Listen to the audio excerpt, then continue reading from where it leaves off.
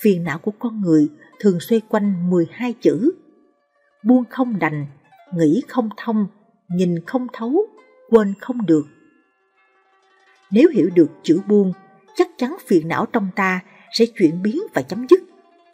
Buông bỏ bản ngã sẽ giúp chúng ta hiểu được giá trị chân thật của cuộc sống.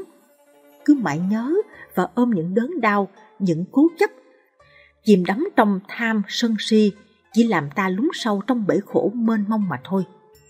Học cách thả lỏng bản thân, lắng nghe trái tim và lặng nhìn cuộc sống thì phiền não sẽ không còn. Tôi mong sao ai cũng có thể buông để thấu hiểu được trái tim mình.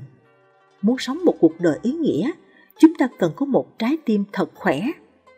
Và đó chính là một trái tim biết yêu thương, yêu thương bản thân mình và yêu thương tất cả mọi người, mọi vật trên thế gian.